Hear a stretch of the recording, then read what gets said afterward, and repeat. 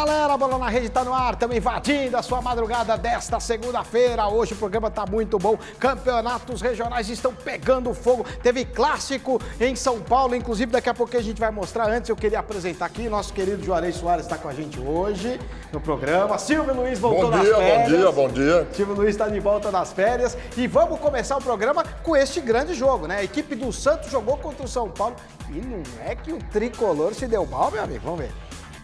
Os jogadores fizeram um minuto de silêncio pelas vítimas do desastre ambiental em Brumadinho, região metropolitana de Minas Gerais.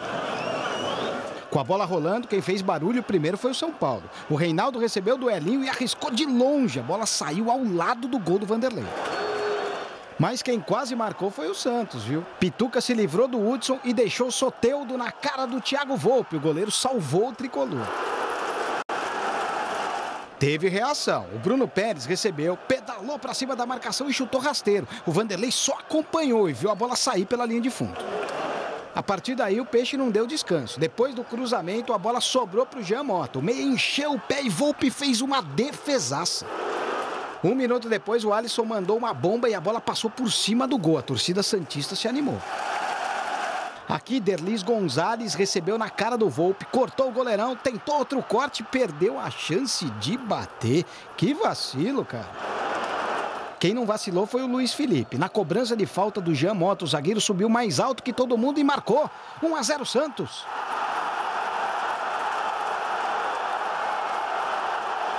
O segundo tempo começou bem parecido com o primeiro, com o São Paulo no ataque. Bruno Pérez arrancou com velocidade, invadiu a área e foi travado. Só que mais uma vez o Santos tomou conta do jogo. O Pituca recebeu no meio de campo e arriscou de longe. Volpe fez boa defesa. No contra-ataque, não deu para o goleirão. Derlis Gonzalez limpou e ampliou. 2 a 0 Santos. E quase teve o terceiro. Após essa cobrança de falta, o Aguilar assustou. O São Paulo também ficou no quase, né? Escanteio na área, o Everton desviou e a bola passou raspando o travessão. Para encerrar, mais uma bela defesa do Volpe. Delis Gonzalez recebeu na área e mandou uma bomba. Fim de papo no Pacaembu. A gente estava bem consciente da dificuldade que a gente ia enfrentar hoje e pode ter certeza que eu não fico satisfeito nunca de ver a minha equipe ser dominada, é, mas é, em momentos que a gente enfrentar equipes que estão num estágio acima, a gente também vai ter que aprender a jogar se defendendo, a jogar no erro. E com o treinamento, com o tempo e evoluindo para cada vez mais a gente também ter capacidade de se impor e de propor o jogo como eu quero. É, o Jardine não está muito satisfeito. Juarez Soares, ah. você dá para dizer que o técnico do Santos, o Sampaoli, deu um nó tático no André Jardine? O Sampaoli, o Santos está jogando diferente mesmo? Não, ele não deu nó tático. Agora que ele prepara o Santos bem, prepara. Dos técnicos que estão, que tiveram só 15 dias para trabalhar, ele é o que preparou melhor. O Santos jogou nove pontos, ganhou os nove pontos e joga leve. E não deixou o São Paulo jogar. É aí que tá. E o Santos joga no ataque. O Santos vai pro ataque, faz o primeiro, corre atrás do gol. É um time que não fica recuado, não fica tocando a bola para trás. E, é, é, o técnico do Santos gosta de, de, botar o time no ataque. E é um time realmente que é é o melhor time do Campeonato Paulista. Eu estou falando do âmbito do Campeonato Paulista. Quando vier o brasileiro é uma outra coisa. Mas nós estamos comentando Sim. o Campeonato Paulista. Sim. Dos times paulistas, disparado, o Santos é o melhor. Vamos soltar em tela cheia, por favor, Dani Pires, as defesas do Thiago Volpe, né? Thiago Volpe, que foi muito bem no jogo, apesar de ter tomado dois gols. Garantiu a posição de titular, vem sendo diferente dos outros goleiros que o São Paulo teve nos últimos tempos, Silvio Luiz? Ninguém vai ser titular do São Paulo esquecendo o Rogério Ceni. Aliás, queria dizer uma coisa. O São Paulo escapou de tomar uma goleada hoje, porque estava lá o Volpe. E outra coisa, este ano, o quarta, a quarta força é o Santos, porque ainda não está do jeito que o homem quer. E ele quer mais gente. E se ele conseguir a gente que ele quer, já imaginou o que, que vai acontecer com esse Santos? Santos é a quarta força esse ano, moçada. É isso mesmo. Olha, depois do jogo, né, tiveram várias entrevistas, inclusive o Hudson falou que faltou coragem para a equipe do São Paulo neste clássico e teve gente que rebateu. Foi polêmico, vamos ver. Fica a lição também de, de, de, ter um pouco mais de coragem de jogar quando eu tiver a bola e um pouco mais de tranquilidade também. É uma avaliação dele, né? Eu acho que a gente, cada um né, é adulto e tem a sua opinião. E não é fácil apertar o Santos como a gente apertou durante o primeiro tempo. Para isso tem que ter coragem, sim. Tiago, você acha que faltou coragem para o time do São Paulo hoje? Não, de maneira nenhuma. A gente tentou, a gente trabalhou. É, o segundo tempo, o resultado inferior, a gente buscou é, ter as nossas, as nossas jogadas também e não, não, não, foi, não, foi, não foi a tática que a gente esperava. É, é trabalhar para que no próximo jogo contra o Guarani a gente possa voltar ao caminho das vitórias. Silvio Luiz, o André Jardini não gostou, mas o Hudson falou que faltou coragem. Na sua opinião, faltou coragem mesmo nesse time de São Paulo? É, não é que faltou coragem, faltou treinar, pô, sabe? O Jardine é um rapazinho de boas intenções, mas eu não sei se o presidente aguenta ele no cargo depois de umas 4, 5 derrotas. Ele vai para a Sul-Americana, cara. E lá o buraco é mais embaixo. É lá que eu quero ver a categoria do Jardim. Nada contra, apenas que ele é muito novo. Ele é muito novo para pegar um caminhão do tamanho do São Paulo. Só isso. Complicado. O, o Hudson não pode falar isso? Faltou coragem? Porque aí já fica alguma coisa, ou, ou alguma coisa, algum entreveiro com o treinador? É, o, o lá no, quando o São Paulo foi para os Estados Unidos fazer a pré-temporada, o, o, goleiro do, do, do, São Paulo. Thiago Volpe, já tinha falado. Né? Falou né? a mesma coisa. É. Falou tá faltando mais comprometimento do time. O time parece que está perdendo e está tudo bem. Não é assim, não pode ser. Agora, o Hudson que é um jogador de muita personalidade. Capitão. Capitão do time. Ele é diferenciado porque ele fala, e isso que ele falou ali na coletiva, ele falou em campo. Ele falou, poxa, como é que pode? Nós vamos sair eh, como se estivesse jogando um empate, tá bom? Pois é. Não, tem que sair para cima. Vamos jogar para cima. O Santos faz o gol, nós vamos correr atrás. E ele, agora, evidentemente que o técnico não gostou, porque os técnicos brasileiros não estão acostumados com os jogadores do elenco. Que falar a verdade. A falar a verdade. É Complicado é mesmo. Vamos falar agora do Corinthians que jogou contra a Ponte Preta em casa. Suou uma barbaridade para vencer. Vamos ver. O Corinthians entrou em campo sem vários titulares para pegar a Ponte Preta em casa. Ah, sabendo disso, o time de Campinas foi para cima e o Cássio teve que se virar para tirar a bola do Giovani e ainda teve que torcer para que este chute do Renan e este outro do Gerson Magrão fossem para fora. Que coisa, hein, Carilli? Sem a bola, a gente sofreu um pouco, a, a frente da nossa zaga um pouco aberta. Os visitantes só esfriaram depois dessa tempestade forte aí. O juizão parou o jogo aos 26 minutos do primeiro tempo. Todo mundo foi pro vestiário. Mas você sabe como é chuva de verão, né? Não demora mais que 10 minutos para passar. Aí todo mundo voltou. E o jogo recomeçou de novo com o Cássio trabalhando ao pegar a cabeçada do Renan Fonseca. Depois, polêmica. O Gustavo Silva caiu na entrada da área e pediu pênalti. O árbitro não deu a mínima para ele. Os alvinegros ficaram revoltados. Enquanto eles reclamavam, os campineiros atacavam. Matheus Vargas parou no Cássio. Já o Thales parou nas redes. Só que a alegria do cara durou pouco, porque o dono do apito anulou, marcando impedimento. No finalzinho do primeiro tempo, o Avelar respondeu de cabeça, mas errou a mira.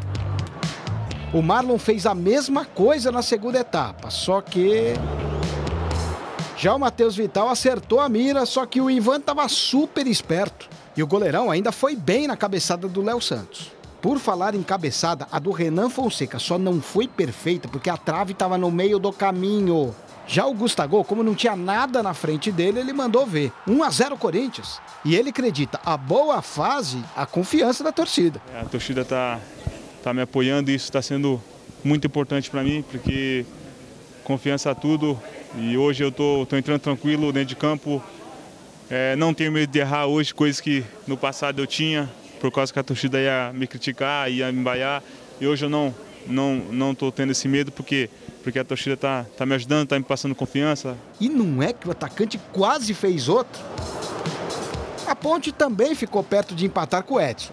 Já que não conseguiu, o juizão terminou. Corinthians 1, Ponte Preta 0. Os donos da casa não gostaram do próprio desempenho. Mas está longe ainda do que, daquilo que a gente espera. O, dos três jogos que a gente fez no campeonato, o de São Caetano para mim foi o melhor. Não tem é, muita, muita desculpa não, né? A gente tem que conseguir as vitórias, mesmo jogando mal, a gente tem que sair daqui com, com os três pontos. Foi feio o jogo, hein? Vamos soltar em tela cheia, Dani Pires, por favor, o pênalti que o Gustavo Silva do Corinthians reclamou, né? Disse que foi empurrado dentro da área, foi derrubado dentro da área. Silvio Luiz, foi pênalti na sua opinião ou não? Fora, o cara tá a meio metro do lance, olha lá. É. A falta foi fora, ele de Ele sacanagem caiu dentro. Cara, ele faz tudo, todos eles fazem isso aí, pô. Ele, você também tem a mesma opinião, né, Juarez? É, já, já, já que você está forçando a minha resposta, é do jeito que. Não, é se do você jeito- tiver outra é do- resposta, é do eu quero jeito que você é. É conforme o senhor está falando. Não, que é isso? Não, aqui não. Não, o Silvio tem razão. Foi fora, foi pênalti. É que o Silvio foi árbitro, pô, e ele sabe É, bem do que ele tá pênalti. falando. Agora, Agora- vamos mostrar o gol impedido, né, do Thales. Não sei se a gente, até pelo ângulo, consegue ver. E o, o- a Ponte Preta também reclamou demais. Na hora do chute, ele já dava, daí já dá pra perceber que ele tá um pouco à frente, né, Silvio? Tava. Bem, bem anulado. Bem anulado. E aí, Juarez? É, foi favoreceu o Corinthians? É. Então fez bem. Que isso? Não, o, cara estava. Olha, você deve estar tava perguntando, mas e o Bocelli, né? Ele estreou, vocês não falaram nada. Calma, daqui a pouquinho eu vou chamar uma reportagem só do Bocelli, da atuação dele no jogo. Antes, o Gustavo acabou fazendo gol. Vamos soltar em tela cheia o gol do Gustavo. Ele praticamente está fazendo em todos os jogos, né? Ele está em estado de graça. Vai ser difícil ele perder a posição de titular, hein, Silvio? É, com a chegada do Wagner Love, aí, que veio com uma 600 malas, tudo coberta de verde, não agradou muito a torcida do Corinthians, entendeu? Vai ser uma briga boa. Se ele quiser jogar com dois na frente, tudo bem. Se quiser jogar com um só, vai ser uma briga de cachorro grande. Vai, ser. mesmo. É, e, e ele agora tá um pouco mais tranquilo porque ele mesmo disse, na torcida agora tá apoiando ele. O cara fica com peito de pombo, né? Aquela coisa. Pois é, agora, acontece que um- uma contratação milionária, que nem a do, do, do Wagner Love, né? Foi contratado. O Bozelli também, outro jogador internacional que foi contratado. O Carilli já falou que vão jogar Wagner Love e Bozelli. Vai sair o André Luiz, vai jogar o, o, o- o Wagner Love no lugar do André Luiz. E o Bozelli vai jogar de centroavante. Ele, hoje ele jogou, entrou só porque vai estar ver fora de que ele forma. foi? Ele vai, vai ter que pegar uns 15 dias de treinamento. Vamos ver como é que foi então a atuação do Bocelli, que acabou estreando na equipe do Corinthians. Solta aí. Olha aí quem estreou, o Bocelli. O argentino entrou todo empolgado aos 19 minutos do segundo tempo no lugar do Gustavo Silva. Una alegría enorme, me sentí muy contento de, de haber debutado, de haber ayudado por lo menos tanto dentro de la cancha que el equipo ganó y Só que o entusiasmo não se refletiu para dentro de campo, não, viu? O cara furou a primeira bola que recebeu e na sequência da jogada ainda fez falta, é mole. Aí ele resolveu fazer uma tabela com o Pedrinho e na hora de devolver para o meia, que coisa, meu. eh, un proceso de adaptación, no es fácil venir a un fútbol como el, como el brasilero y bueno, tengo que trabajar mucho para, para adaptarme lo antes que se pueda.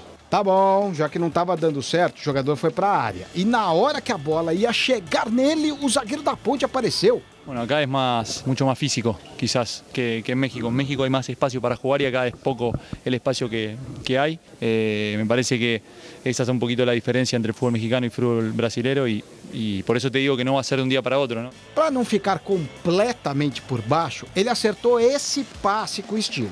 É, parece que a estreia do Bocelli ainda não foi aquilo que ele esperava. Resta saber se em campo ele vai se acostumar rápido, porque fora dele tá difícil, viu?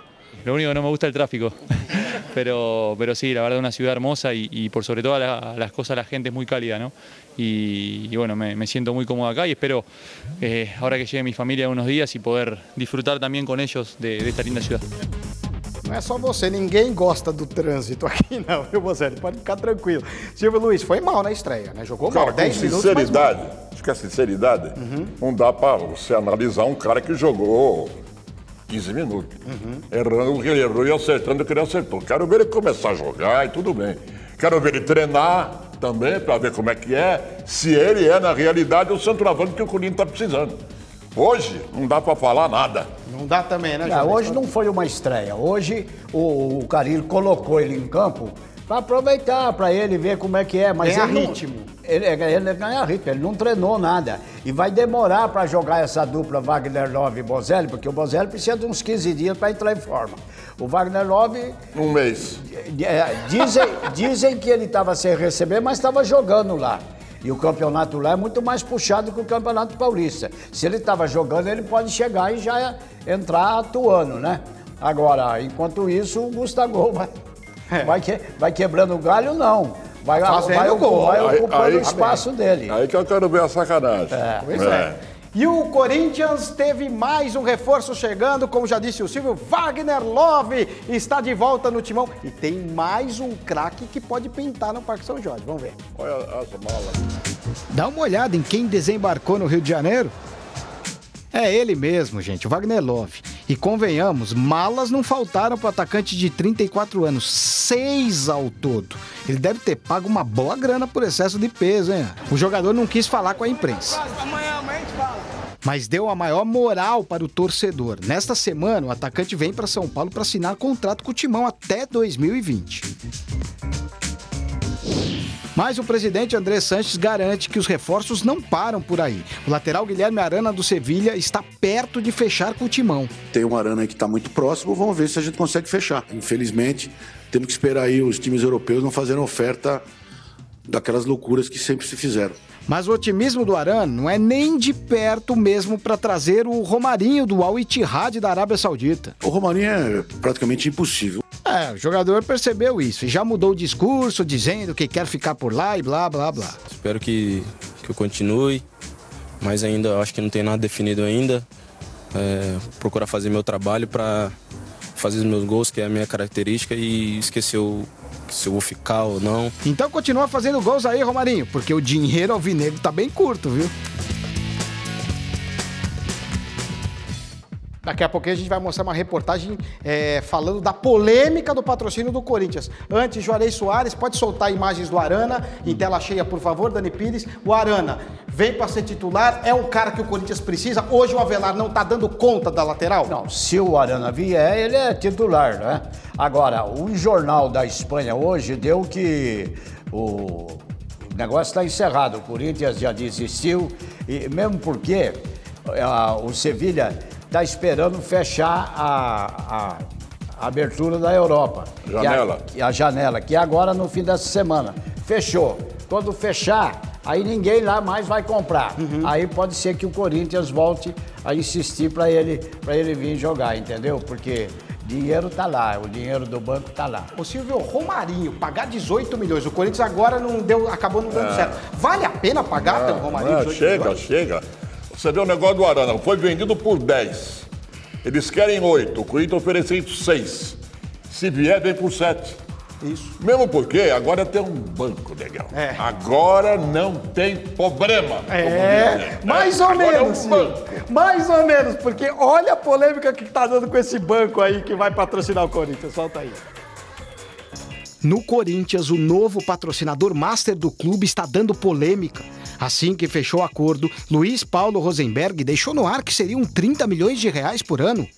Vocês acompanham todos os contratos de patrocínio eh, que existem no Brasil. Alguém já ouviu falar num contrato em que no primeiro dia é depositado 30 milhões na conta do, do, do clube? O Corinthians está virando banco. É uma, uma coisa nova, inovadora. É uma parceria, não é simplesmente um outdoor na camisa. Depois vocês vão ter mais detalhes. Dias depois, vazou detalhes do contrato assinado em que estava especificado que o valor pago anualmente é de apenas 12 bilhões de reais. Só que isso ninguém tinha dito. Porque tem um sigilo, o Corinthians ia falar isso no conselho, no core. O problema é que esta conta não fecha. O clube recebeu 30 milhões de reais à vista, mas o acordo é de 12 milhões. Quer dizer, sobram 18. E aí? O Corinthians pegou 12 deste ano, 12 do ano que vem e 6 numa futura. prevendo que tem uma futura lucro esse ano, antecipou 6 milhões. Peraí, você quer dizer que no ano que vem o Timão só recebe dinheiro se a torcida alvinegra cooperar nas plataformas digitais? Ano que vem vai vir aquilo que der de lucro 50% para o Corinthians. Hoje a tendência é, é plataforma, é digital. Volta a repetir, a Sul-Americana não vai passar em nenhuma televisão. Vai ser na, nas, nas, plataformas digitais. As pessoas têm que parar de começar a destruir isso, porque isso vai ser a tendência. Né? Bom, caso não venham os lucros, serão 60 milhões nos próximos cinco anos. Ou, se preferirem, um milhão por mês. Valor que não paga nem o salário do Gabigol do Flamengo, que ganha 1 milhão 250 mil reais. Não tá um pouco baixo, não, Andrés? Ninguém mais põe 20, 30 milhões na camisa somente para passar na televisão aberta, que, que cada dia menos está tá pior. É, mas enquanto os alvinegros choram por migalhas, os alviverdes continuam ganhando a maior grana com a camisa. Leila Pereira renovou patrocínio com o Palmeiras e vai pagar nada mais, nada menos que 136 milhões e 800 mil reais por ano. Eu fico muito à vontade de falar. Esses, esses valores são os valores reais, sem dúvida nenhuma. É o maior patrocínio da história do futebol. E eu sinto muito orgulho disso. Eu não tenho dúvida que é um, é um patrocínio que ele é invejado no Brasil. Com este valor, dava para comprar dois arrascaetas e ainda sobrariam mais 9 milhões e alguma coisinha. Ou, se preferirem, nove Rodriguinhos ou até mesmo sete Romarinhos, jogador que o Timão sonhava em trazer. Isso sem contar as outras formas de receitas que transformam o time no mais caro da América do Sul. Nós temos arrecadação, nós temos sócio torcedor avante, nós temos é, cotas de TV, nós temos produtos licenciados, é, nós temos uma série de, de fontes de receitas importantes. É, e nós somamos agora no ano anterior próximo de 650 milhões. Para não ficar tão para trás, o cartola do time paulista disse que a arrecadação do time vai aumentar um pouquinho. Para vender a manga e o que eles chamam aqui da, das axilas. Então, temos duas propriedades que estamos negociando para vender. Então, no meu cálculo, vai ter só na camisa, sem contar os 30 milhões, uns 42 milhões que foi feito no planejamento do Corinthians para este ano. É, para muitos, dinheiro não traz felicidade, mas no futebol, ele faz uma diferença danada. Silvio Luiz, 12 milhões por ano, o Corinthians vale É um isso. milhão por mês. Então, Agora é, é o seguinte, pinga isso aí. Isso aí, isso aí, para mim, está mal explicado. Esses 30 milhões que eles falaram, tem alguma coisa aí? Tem, tem. Não, eles adiantaram, Silvio, os 12 Não, milhões do próximo 30, ano. O ano que vem. Isso, Já adiantaram adiantaram. 30. Então, o Corinthians não recebe nada o ano que vem. Esse é o problema. A coisa foi muito mal explicada e jogaram para a torcida pagar. Tá, tá Isso certo? aí, verdade. E essa vaidade de quem gasta mais com o futebol, Corinthians, o Palmeiras, tem que acabar. Sabe? Tem que acabar. É agora uma vaidade. Eu gastei 600, eu gastei 700, eu gastei 900. Pô, tudo bem. Ainda bem que a Caixa tirou o patrocínio de todo mundo. Uhum, é melhor. Sabe? Que não precisava disso aí. Aí é que está. Eu acho que tem alguma coisa de discretamente mal explicada. É, tá Mas feio. quem entende do Corinthians, olha É, aqui. 12 milhões? Esse aqui, esse aqui entende da como é que tá o negócio. 12 milhões? Não estão acabando com a marca. A marca Corinthians vale muito mais que isso, Juarez. O João Paulo Rosenberg, que não teve nada, que ele não arrumou patrocínio nenhum. Quem arrumou foi o empresário do Corinthians, que é sócio do Kia. Eles é que falaram com o dono do banco e o, e o dono do banco falou, tá certo. Foi- o Rosenberg pegou carona. Ele foi ali e falou bobagem. Falou bobagem. Porque os 30 milhões eram os 12 desse ano, os 12 do ano que vem. 24. E mais 6 adiantado do, de 2021. Entendeu? Totalizando os 30 milhões. É isso. Agora, e o resto do dinheiro? O resto do dinheiro é que o dono do banco fez a sociedade com o Corinthians porque ele quer cliente para o banco. É, bom. É cliente que Ele ele quer. lançou um aplicativo. Então, Quer que os caras abram conta no banco. É, abra a conta É agora. aí. Se o cara abrir conta de um milhão, ok. Se o cara abrir conta de 100 reais, não vai dar lucro. Não, é mas, isso. mas acontece. É verdade, é assim que Peraí, funciona. peraí, pai. Um abraço de um milhão. Só que o Corinthians tem 30 milhões de torcedores. Não, tudo bem. Então, então tudo bem mesmo. É, 30 é- milhões vão abrir conta? Duvido, Não, hein? mas se, se 1% abrir, se 10% abrir, é o que o banco quer. E aí, metade do, do, do que entrar do, pro banco é do Corinthians, metade pro banco. É isso aí. É isso. Botaram pra torcida pagar a conta. É isso aí, isso mesmo. É. E agora já, que, já que a torcida tem que abrir, o Brasil tem três bancos. Só tem três bancos. Todo mundo sabe quais são, né? Agora ele vai abrir e, e, esse banco BMG sempre trabalhou com o jogador, uhum. sempre. Tanto que está patrocinando o Atlético também, o Atlético de Minas Gerais. É isso aí. Agora vamos falar do Palmeiras que jogou contra o São Caetano e olha, sabe o que aconteceu? Dá uma olhada. Quem começou no ataque no Anacleto Campanella foi o Palmeiras. Lucas Lima cobrou falta e Jackson defendeu. E não demorou muito para ter bola na rede, viu? Moisés fez um belo lançamento, Borja ganhou no corpo duas vezes, tirou o goleirão e marcou. 1 a 0 Palmeiras. Do outro lado, Christian recebeu o cruzamento na área sem marcação e cabeceou errado. Rafael Marques arriscou de longe, chutou forte, mas o Jailson fez a defesa. No começo da segunda etapa, o São Caetano tentou uma reação. Capa se livrou da marcação e bateu forte. A finalização passou perto da trave. Só que quem marcou mesmo foi o Verdão, hein? Diogo Barbosa tabelou com Dudu e tocou pro Luan. O zagueiro não desperdiçou, 2 a 0. E aí ficou nisso mesmo, né? 2 a 0 Palmeiras, placar final. É isso aí. Silvio Luiz, Palmeiras, jogando contra o São Caetano. É, o Palmeiras anda naquele ritmo do Felipão, um dia outro, dia outro, jogaram oito diferentes, vai jogar quarta-feira lá em Barueri contra o Oeste, mas depois tem o Corinthians, então já sabe, quarta-feira já vai mudar uns 18 jogadores do Palmeiras, porque o jogo que ele quer é o do Corinthians no domingo, na Arena é isso mesmo. Palestra Itália, que por sinal tá com preço salgadinho, hein? É. preço caro para ver jogo lá na arena. E o Silvio falou aqui dos destaques, né? O técnico Luiz Felipe Scolari, depois do jogo, falou realmente que o Palmeiras vai mudar demais para a partida contra o Oeste, mas ele foi muito engraçado na hora de dar a declaração. Vamos ver. Felipão, é, contra o Oeste, é, deve ter mais um rodízio de jogadores também? Sim. De quantos jogadores? Mais ou menos oito? Quantos? Não vou te garantir agora mas provavelmente a defesa. Ah, uns, uns oito, no mínimo. Sete, oito no mínimo. Juarez Soares, é tanto jogador que tem que ficar fazendo é. conta, porra. É, é, jogador demais. Quer dizer que só ficam três titulares que jogaram, né? Exato. Então é mais fácil perguntar, Filipão, você vai mudar oito? Quais são os três que ficam, então? e tem que mudar mesmo, porque senão é, o calendário está apertado. Ele né? está preparando o time para Libertadores, Sim. né? Então ele quer um que ele vai ajustar para o Campeonato Paulista, né? Hoje, por exemplo, o Palmeiras fez dois gols e se acomodou. Sim. Depois só tocou a bola, fez porque o, o, o time do São Caetano não, não tinha força para reagir. E o Palmeiras ainda pôde mexer, tirar, substituir, porque já estava com o jogo ganho, né? Então, ele vai ele mesmo vai se atrapalhar. Se perguntar para ele, Filipão, qual é o time reserva do Palmeiras? Fala aí. Não sabe. De então, qual é o titular? Não, de não, sopetando não Calma.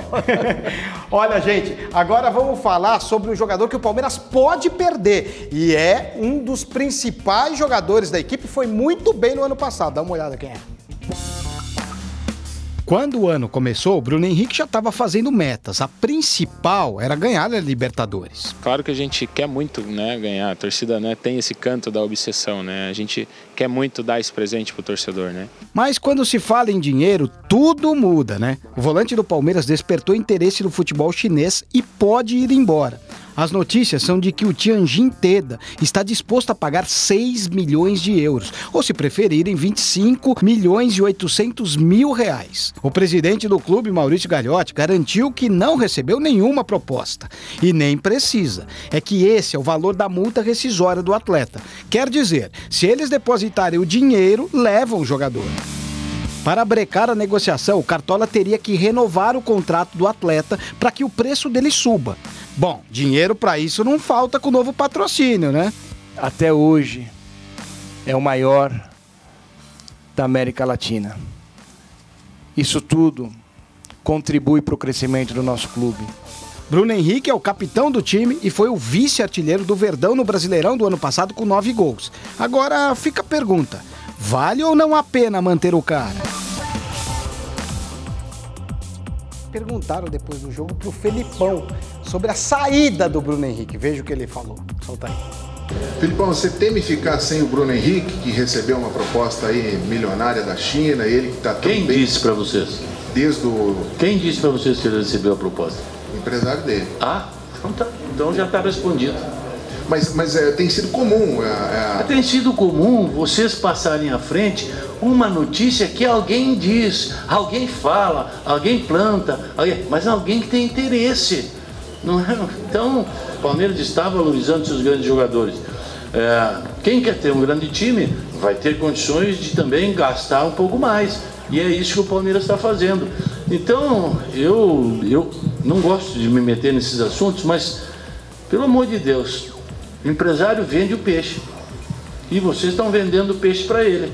E de graça vocês estão vendendo. Cobrem dele. Cobrem um percentual na venda. Vê se ele vai dar para vocês. Que patada que ele deu na imprensa, É, hein, Juarez? Voltou aos velhos tempos. Deu um coice, deu um coice na imprensa ali, falando que é para pegar dinheiro de, de, de empresário. Se não, se não é verdade a fonte que o repórter tem, por que, que ele está nervoso pedindo para o Palmeiras correr e cobrir e pagar, dar- vai dar aumento de graça para o Bruno Henrique? Mas o próprio não- presidente ele falou da, da- do valor. O próprio presidente falou. É, é porque quando foram buscar o Bruno Henrique lá atrás, os empresários falaram, o Palmeiras não, não sabia o que o bicho que ia dar com ele, que ele era um bom jogador e tal. Aí pegaram e falaram, bom, então, se for vender, vocês botam 3 milhões de dólares, aí era 2 milhões, né? dá 6 milhões. Então, no contrato dele, tá que ele custa 6 milhões. Aí é que está o desespero do Palmeiras. Pois é, precisa aumentar o contrato para aumentar É, a multa rescisória. E vamos falar agora lá do, do clássico no Rio de Janeiro. Afinal, a equipe do Botafogo jogou contra o Flamengo e o Bruno Henrique, que era do Santos e foi pro Flamengo, fez a diferença. Vamos ver. No primeiro clássico do Campeonato Carioca, o milionário Flamengo não lançou de uma vez todas as contratações que agitaram o mercado nas últimas semanas. O único que começou jogando foi Rodrigo Caio, que quase marcou de cabeça. Vitinho, que antes da chegada de Arrascaeta era o jogador mais caro da história do clube, acertou o travessão. Mas quem saiu na frente foi o Botafogo. O chute de João Paulo desviou na zaga e enganou Diego Alves. E enquanto teve pernas, o Botafogo criou mais oportunidades. Alex Santana quase marca de longe. E no segundo tempo, Eric rolou para trás e Chiesa acertou a trave. Só que no intervalo, o Flamengo já havia colocado em campo Bruno Henrique. E foi dele o gol de cabeça que deu o empate ao time.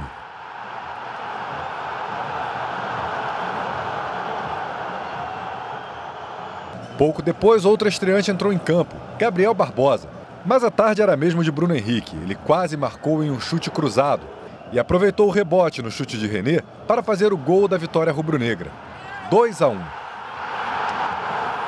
Ele ainda poderia ter feito outro. No último minuto, Gabriel deixou Bruno Henrique na cara do gol, mas o árbitro errou e marcou o impedimento. Bruno Henrique não foi a contratação mais badalada do Flamengo para a temporada, mas foi a que deu a resposta mais rápida. Ele foi anunciado na quarta-feira, apresentado na quinta e logo na estreia deu ao time uma vitória e um clássico. Ele tem uma cultura tática muito interessante. E posso te garantir que foi o primeiro nome que eu pedi quando fui contratado pelo Flamengo. Então estou muito satisfeito com ele. O nome do programa não é Bola na Rede. Vamos ver mais gols pelo Brasil. Solta aí. No Maracanã, o Fluminense encarou a portuguesa do Rio de Janeiro debaixo de um calor danado. Aí o adversário aproveitou para provocar nas redes sociais. No Twitter, o clube escreveu: um sol para cada rebaixamento do Fluminense. É mole! Mas dentro de campo a história foi outra. O Flu marcou primeiro aos 13 com Ezequiel.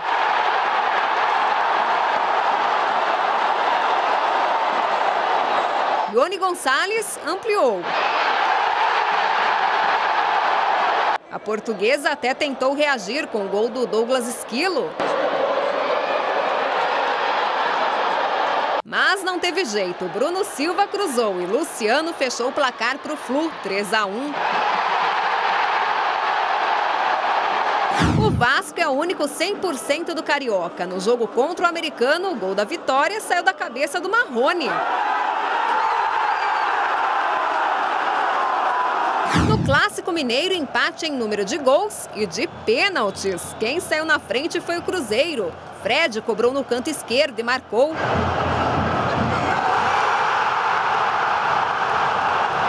O Vitor até tocou na bola, mas não deu. No fim do jogo, foi a vez de Fábio Santos cobrar o penal e empatar para o Atlético. Final 1 a 1. Debaixo de 40 graus, o Inter perdeu para o São José no Galchão. O primeiro dos donos da casa foi este golaço do Márcio Jonathan. De cabeça, o Tássio marcou o segundo. Final 2 a 0. Revoltados com o resultado, torcedores do Internacional protestaram. E um dos mais ofendidos foi o técnico Dair Hellman, xingado ao subir no ônibus. É, o bicho pegou lá. Lá na Inglaterra também teve quebra-pau entre torcedores do Everton do, e do Millwall. Cenas impressionantes e, e absurdas. Vamos ver. Os hooligans agiram na Inglaterra. Depois do jogo, logo na saída do estádio, torcedores do Everton e do Millwall já deixaram um clima tenso. E ele explodiu na parte externa da estação de Surrey Quays. O local virou um verdadeiro campo de batalha. Nesta imagem, vista por outro ângulo, dá para perceber que os policiais ficaram sem ação. Esse até escorregou ao tentar se intrometer na confusão. A cavalaria teve de invadir o local. Durante o tumulto, esse torcedor escorrega e é agredido pelo guarda. Reparem que durante o tumulto, alguns pulavam o muro e ainda ficavam gravando a agressão pelo celular. Só depois de muito tempo que a cavalaria conseguiu contornar a situação. Pelo visto, vândalos estão em todos os lugares do mundo. Muito bandido. É, já tiveram um problema lá, tentaram resolver. Ah, parece que tinham resolvido e agora voltou de novo. Hooligans, né? E lá não tem pedaço de pau, não tem madeira, é no braço. Lá é no braço mesmo. O policial até escorrega, né, Juarez? Se você quer rever todas as matérias do Bola na Rede, inscreva-se agora no canal da Rede TV no YouTube. Lá você pode assistir na íntegra todos os nossos programas. Acesse agora youtube.com barra Rede TV. Eu queria mandar um grande beijo para Leide Marques, para Gisele Pina, que vieram aqui no estúdio acompanhar o Bola na Rede. Beijo para vocês. Infelizmente, nosso tempo acabou. O Bola na Rede fica por aqui. Acabou. Vambora. Valeu, Juarez. Vambora. Valeu, Silvio. Agora acabou? É, vambora, né? Então, Prazer em Tamo estar com você aqui mais uma vez, Silvio. É, você voltou de férias, tá renovado. as férias, pô. Então Pô, volta cara- aí. cara Agora tá pode demais, dormir né? sossegado. Até Vai dormir agora. tá. Tchau, gente.